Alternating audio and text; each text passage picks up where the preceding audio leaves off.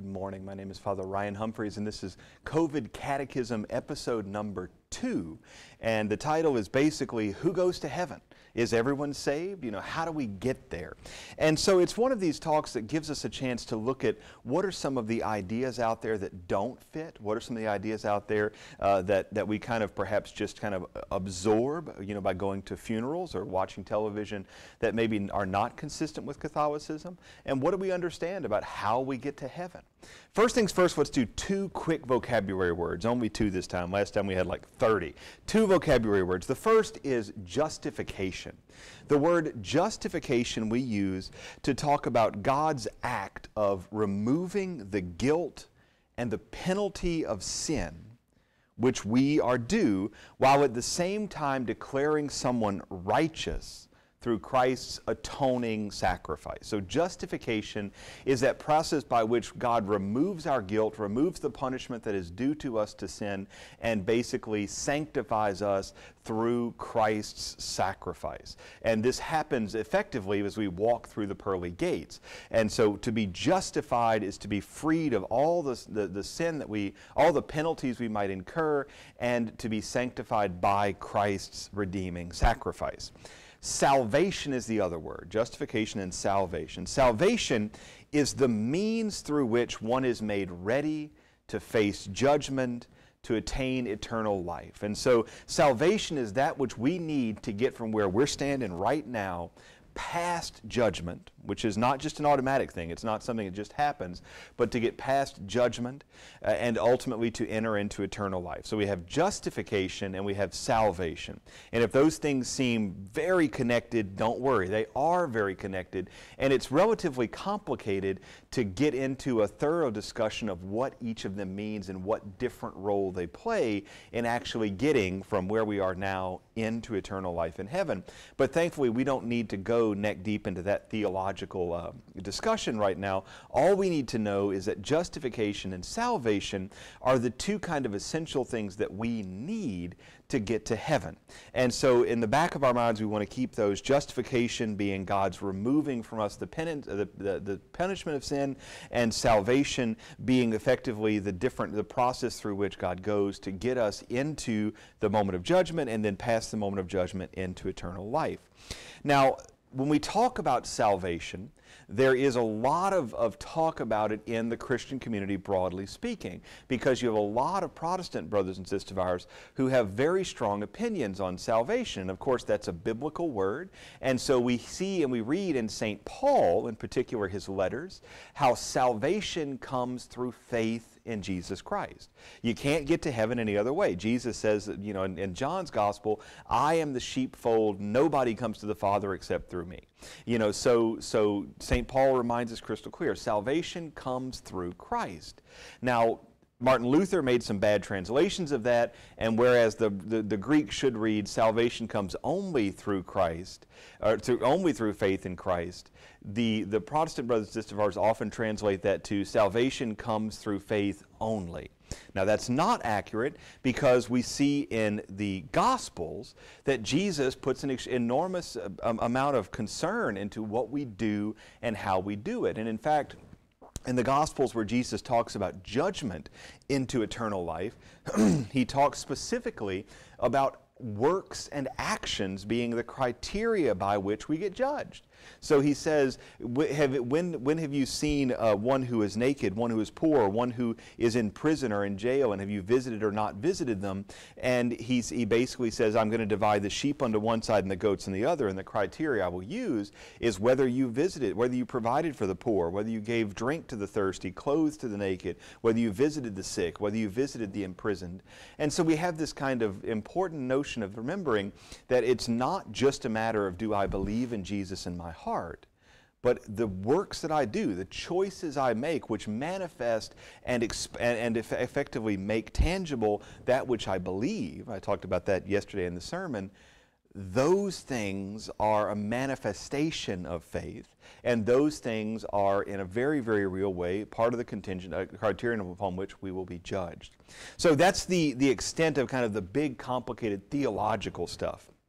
But it's worth knowing that we have justification and we have salvation. And salvation is not through faith alone. The alone there is meant to, to modify Jesus Christ, not the faith in Jesus Christ, but Jesus is the only way to eternal life. Jesus is the only way to heaven. If Gandhi is going to heaven, he's going there because of the merits of Jesus Christ. Anybody who goes to heaven is there because of the merits of Jesus Christ. He and He alone can bring about our salvation salvation and our justification. So let's talk about some errors that are common, some other errors that are common. The, the most common error we see nowadays is what we could call the modernist error or the modernist misunderstanding of salvation, wherein we basically kind of get the idea everybody goes to heaven right? You go to your typical funeral nowadays, and the deacon comes in and he says, you know, Mama is in heaven with Jesus now. She's not suffering anymore. You see the exact same thing when you go to the Methodist funeral or the Baptist funeral, or, or I mean, really, most Christians nowadays have this idea, this, this heresy in, in, in within them, that as soon as our loved one stops breathing, they go straight to heaven and they're done and that's it we're finished we're good to go and and this idea is utterly inconsistent with Christianity because Jesus makes it crystal clear there are lots of folks in hell. Wide is the way that leads to damnation, narrow is the path that leads to eternal life. Our Lady of Fatima, Our Lady of Akita talks about how many people are going to hell in this day and age precisely because people have gotten out of their head the notion that we need repentance, we need forgiveness for our sins. And so universal salvation, the idea that everyone goes goes to heaven is utterly unbiblical. And it's one of those very difficult things to do because you don't want to, as a priest or a deacon or a layperson or anyone else, go and shake the hand and say, I'm so sorry that your loved one died, but they're not in heaven now. Unfortunately, if we do say that, suddenly nobody needs to pray for that person.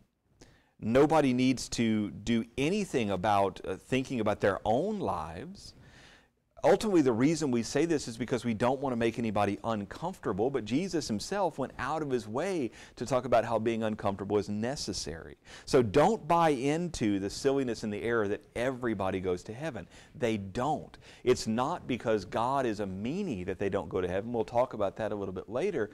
But the reality is that heaven is not automatic. And if it is then nothing we do here matters if heaven is automatic, then there, Jesus had no purpose in teaching us anything because there was no need for us to do anything. If all we need to do is live and die and we go to heaven automatically, then, then there is no purpose for Christianity, there's no purpose for religion, there's no purpose for morality, there's no purpose for the sacraments, there's no purpose for anything at all that Jesus said was so important and essential. And also, it means that all of the visitations of Our Lady going back to Guadalupe were lies and falsehoods. And it means that basically the entirety of Christian teaching before maybe 1920 was just nonsense and foolishness and has to be thrown out because it's completely inconsistent with this idea that heaven, salvation, justification are just magical. They just happen. A, totally and completely inconsistent with biblical Christianity and totally inconsistent with Christianity that we know through history. There is also what we might call the Lutheran heresy or the Protestant heresy. Martin Luther had an idea that justification could not happen. He basically gotten the idea that, that, listen, you know, we are terrible human beings. There's nothing we can do. We have sinned and fallen short of the glory of God. And there's nothing that we can do, and there's nothing that God can do to make that better. And so he described getting into heaven basically as a smuggling process. And he basically said that Jesus would cover us up with his garments or with various images. There was one about snow falling on, on us. You know, the idea of being covered and then basically, Jesus would sneak us into heaven, but we were never actually made better. We were never actually justified. He saw that as, as a misunderstanding of human nature, that human nature could never really be improved. Now, in 1997, the Lutheran Worldwide Communion signed a joint decree on uh, justification with the Catholic Church, wherein we tried to argue that we have basically the same belief you know, given a lot of theological language, we could say that, but Martin Luther certainly did not. And a lot of our, you know, kind of our general Bible Christians, you know, our general Baptist brothers and sisters, good folks that they are, still have the strong belief that the, that the human body, the human soul rather, can never really be made right. There can never be real justification. And basically, you just go to heaven, and that's the story. That's all we worry about, and everything else is kind of moot. And so we do have kind of an idea that we can never really be made to be purified, uh, which is its own kind of, of problem. Now, John Calvin, who is really the father of most modern Baptists and most modern evangelicals in the United States, may be something more in line with what we think of, and that is the notion of predestination. And Calvin argued that basically folks who, who are made to go to heaven are made to go to heaven. And so if you are baptized, that means that from all time you were saved. You were already saved.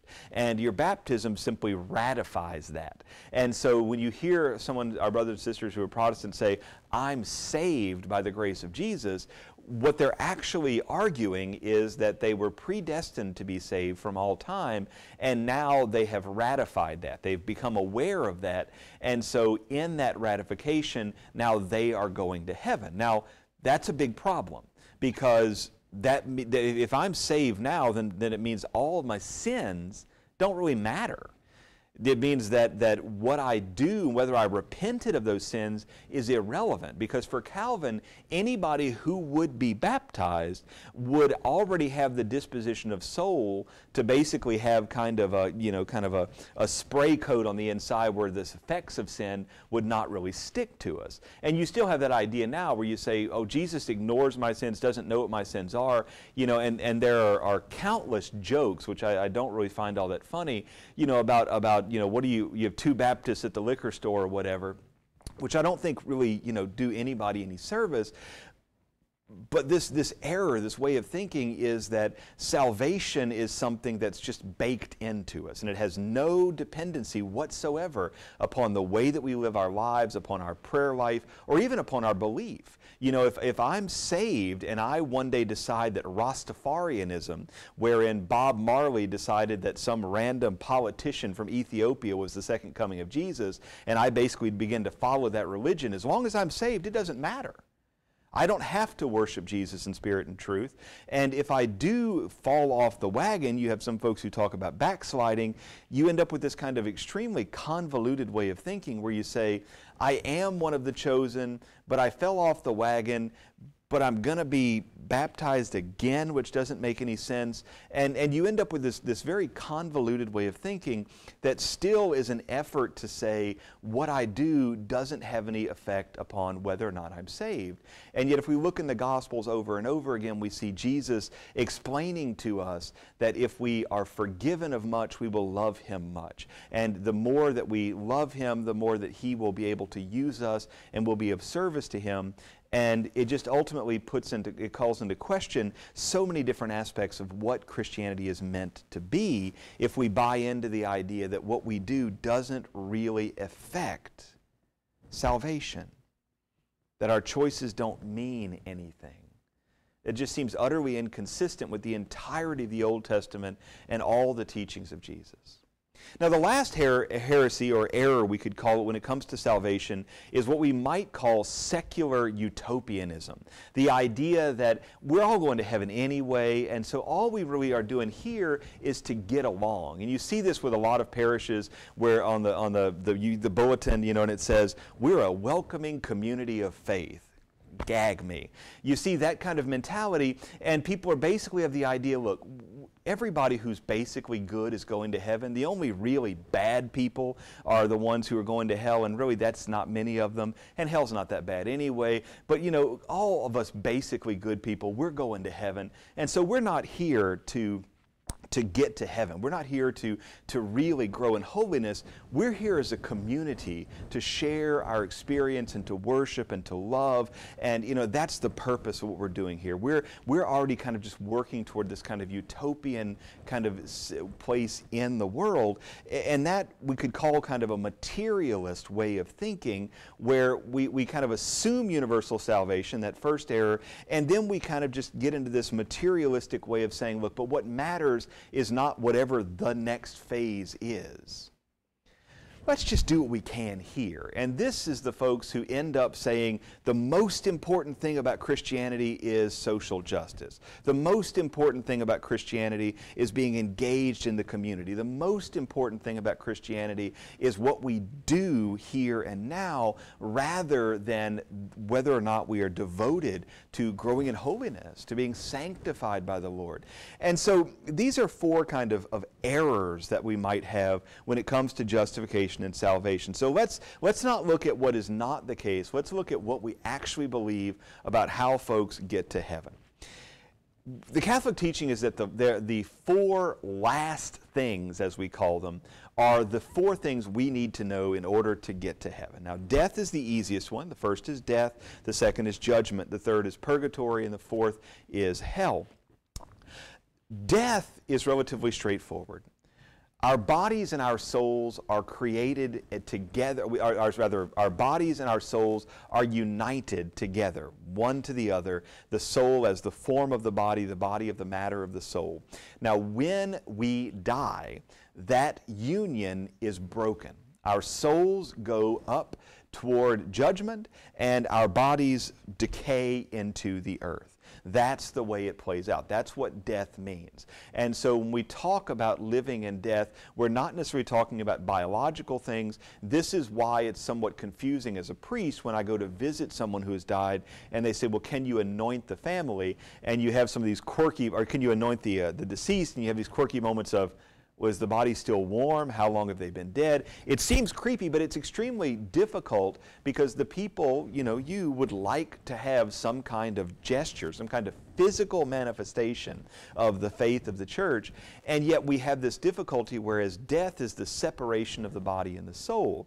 And so the body still deserves a dignity because of what it has done, but death is a separation of the unity of body and soul. We believe that in eternity we will have eternal bodies or heavenly bodies that will so our souls and our body uh, souls in this new form of body will be reunited because we are made in our nature as body and soul, spirit and flesh. And even as even if we go to heaven, as we are waiting for the, the second coming of Jesus Christ, we call the parousia, there is a certain sense of incompleteness until we are reunited with our body and soul. And I'll leave it to the expert theologians to talk about exactly how that works, why that is. But the idea is that death is the separation of body and soul, and the perfect unity of eternal life in heaven is the reunification of a heavenly body with that same soul. Judgment's a little more confusing. Uh, judgment, how do we get judged? Well, the first thing is to know is that judgment is not automatic. Judgment is not going up there and trying to trick St. Peter. Judgment is not a big pearly gate where you're trying to get your lockpick kit out. Um, judgment is effectively, it really does begin with faith in Jesus Christ and contrition of sin. And you have to have both. You can't go to heaven and say, look, I love me some Jesus. Um, that's, that's not enough. Loving Jesus is hugely important, but loving Jesus is not just what we love in our hearts and our emotions, it's also in our will and our choices, because love, for a little philosophical point of view, is in the will. Love is effectively a choice. The feeling of love is an emotion, but the actions of love, sacrificing for that other person, wanting to make sure the other person, the good of the other, willing the good of the other, as we say, which is a traditional definition of love, that's something that involves what we do. And so we have to both love the Lord, have faith in the Lord, but then we also need to be repentant of any sins we have committed. Basically, look at the Lord and say, Lord, I love you. Anything I've done in my life that is not for your glory, I am truly sorry for. And I'm not just talking about whip service, I'm talking about genuine sorrow for sin. This, the main point of judgment is faith and contrition or repentance. Now, there are a couple of, of gotchas there. There is a question of ignorance. Like, what if I didn't know this or that or the other was wrong? What if I was never taught about the Lord? How could I repent of something if I don't know if this is right or wrong? How can I love the Lord if I never knew Him? And so you do have what we describe theologically as invincible ignorance. That is, I didn't know something and there was no good way for me to have known it. If I'm born on Mars and I've lived on Mars and I, uh, you know, I, I die on Mars and I never ever met or encountered Jesus Christ at any level whatsoever, and there's no functional way that I could have encountered him, then I go before the Lord with invincible ignorance. And at that moment, I will be, what will be revealed to me is the complete reality and truth. Now, vincible ignorance is ignorance of things that I should have known but simply didn't. You know, I've got a catechism sitting on my shelf that I got when I was confirmed, you know, 10 years ago, and I've never opened it once. And in there, there are teachings that I need to know as a parent or as a Christian, and I simply didn't take the time. I had a, uh, several weeks of sitting around at home during a quarantine. I never opened the book. That's vincible ignorance. And so we are held responsible for that sort of thing. Invincible ignorance is a different question.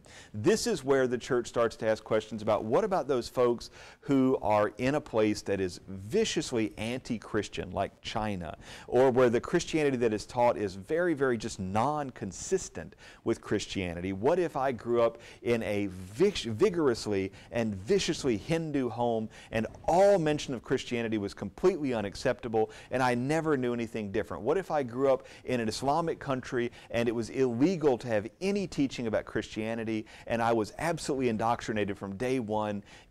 Is that, is, what, then I go to the Lord and I have this experience, what then?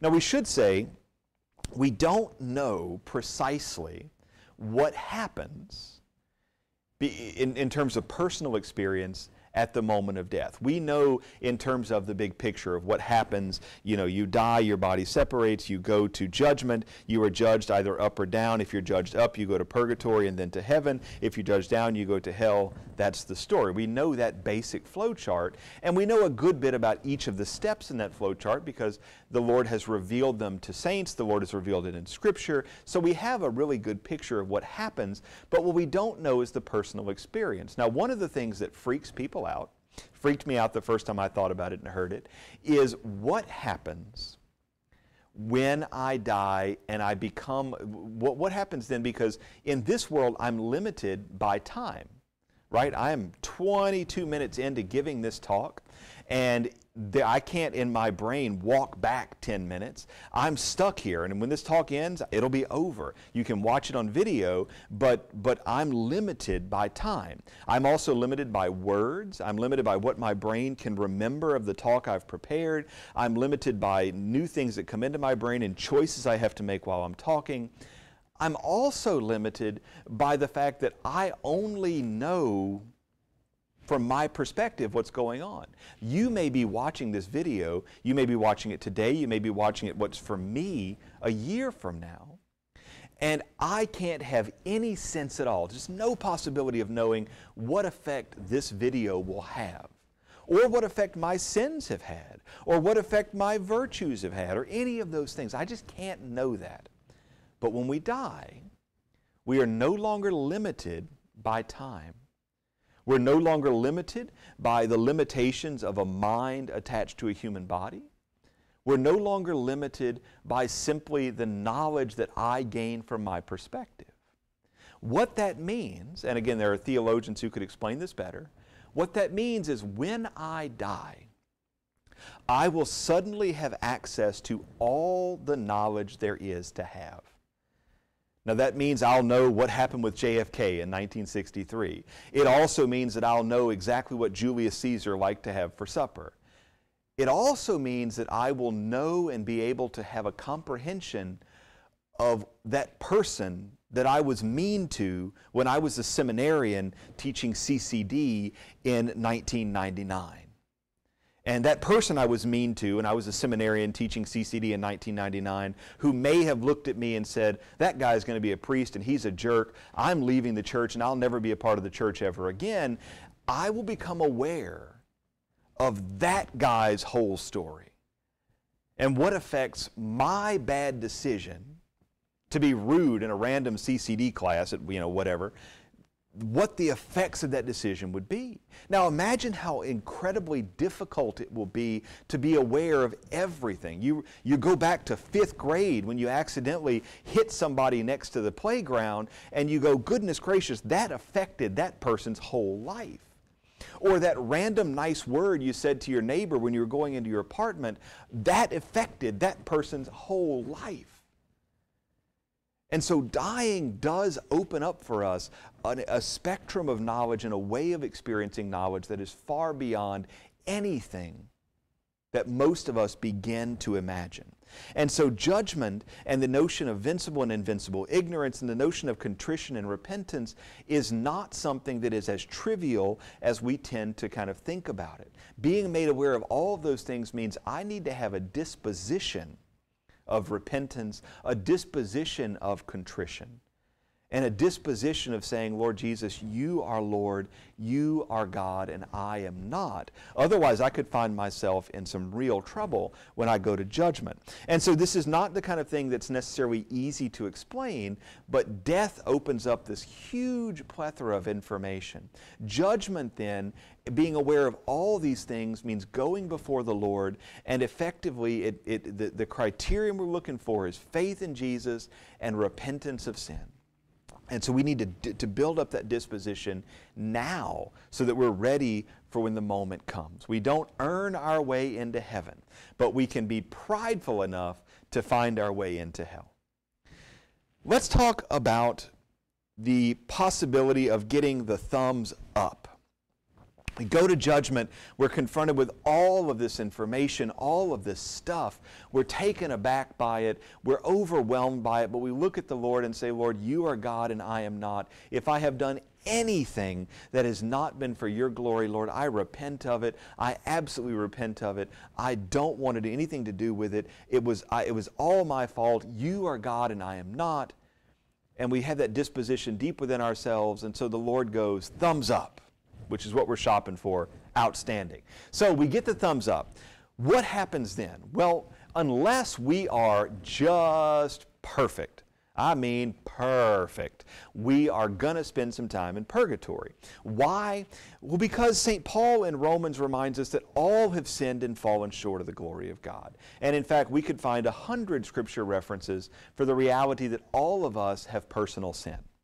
Every single one of us, no matter how much we're trying, no matter how, much, how good we are, even if we read something like St. Teresa, uh, Therese of Lisieux, who talks about how she was driven bonkers by the nun with, you know, who was flicking her nails, or the nun who was messing with her hairbrush, and you think, this is a saintly little woman, and yet here she is confessing sins.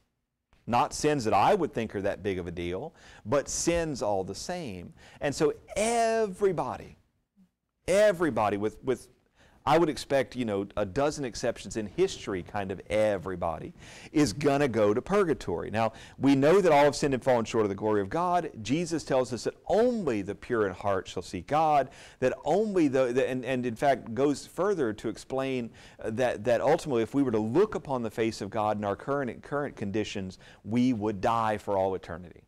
It just can't be done. And so we have this, these two kind of ideas that require some kind of, of middle that we don't understand. And so we have the idea on the one hand that all have sinned and fallen short of the glory of God, and on the other hand that only the pure of heart shall see God. And so what we posit is a purification a process of being made ready to go from this moment of judgment to the moment of entering into heaven. The process of purification, we just use the Latin word for purification, which is purgatio, and so we talk about how we get from point A to point B. Now, several saints have seen purgatory and have written extensively about it. At the end of the day, uh, the Catechism of the Catholic Church, number 1030 and 1031, do a great job of explaining it. They say, All who die in God's grace and friendship but still imperfectly purified, are indeed assured of their sal- eternal salvation. But after death, they undergo purification, so as to achieve the holiness necessary to enter the joy of heaven.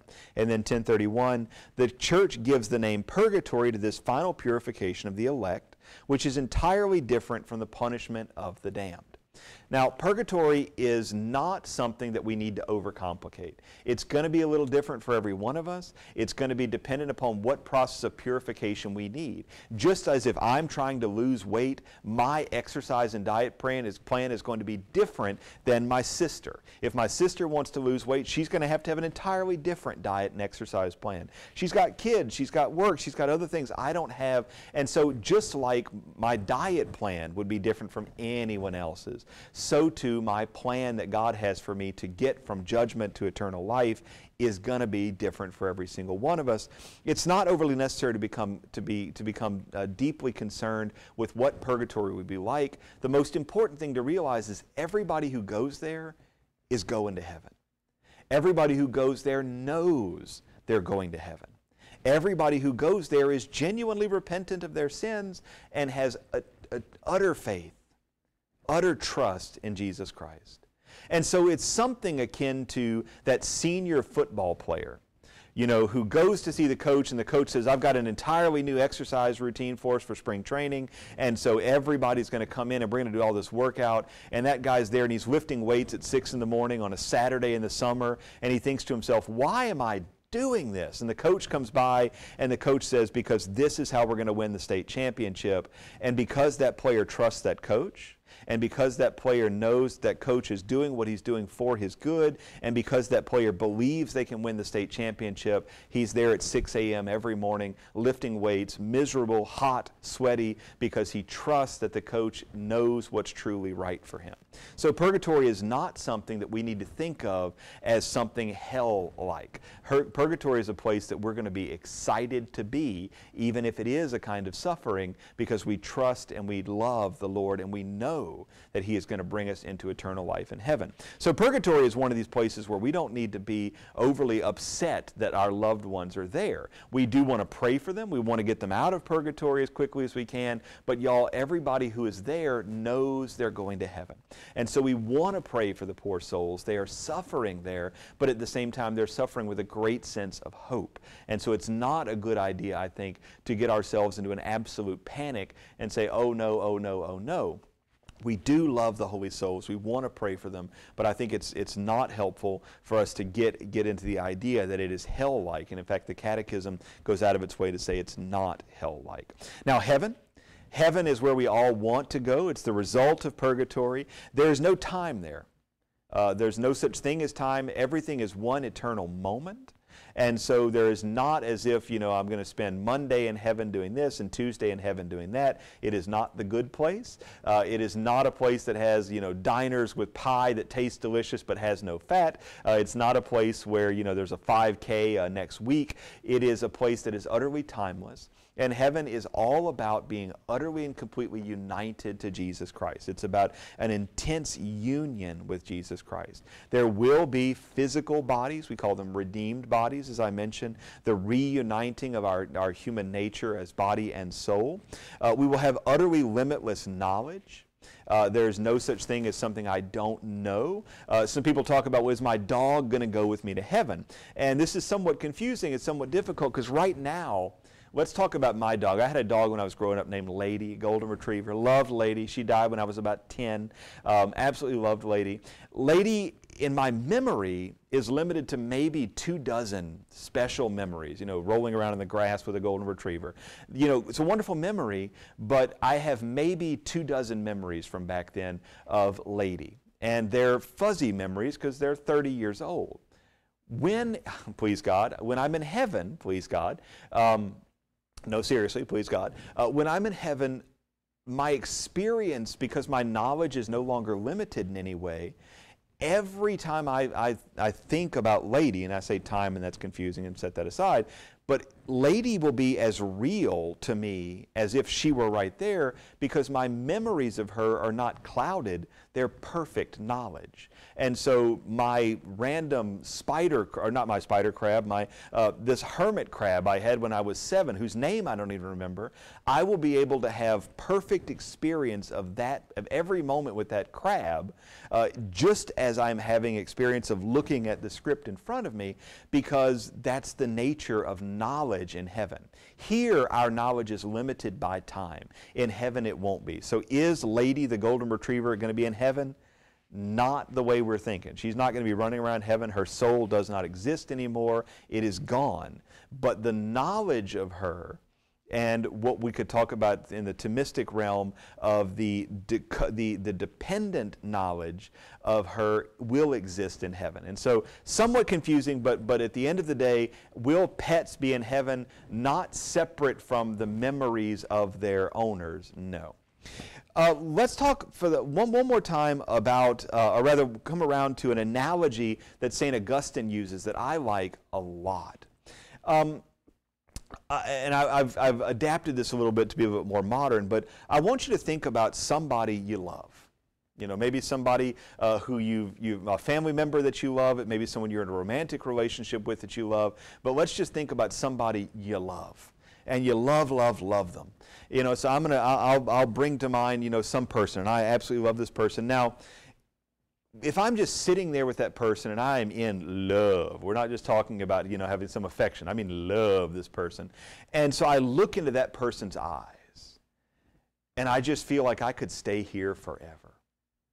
I know they love me. I love them. We're loving each other. We're just in love.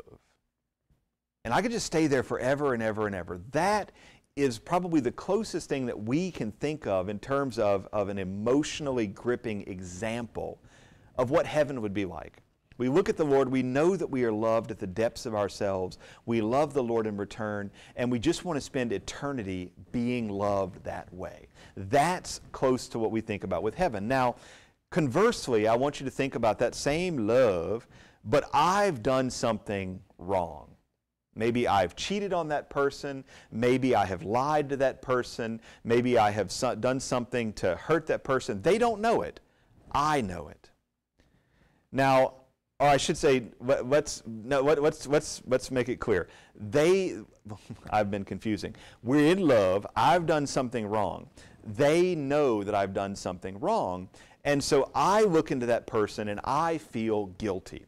I feel terrible. I feel like a horrible human being. The other person, knowing what I've done wrong, looks back at me with complete forgiveness and love. But I still am just I haven't forgiven myself. I'm angry, I'm sad, I'm prideful, whatever. And I look at that person and they love me and their love is just pouring out of them. And I look at them and I feel like an absolute doofus, a terrible human being. Now we get a better sense of what purgatory is like.